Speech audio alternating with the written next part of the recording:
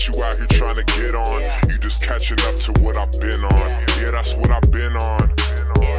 I see what you're trying to do, that's not even kinda new. That's that shit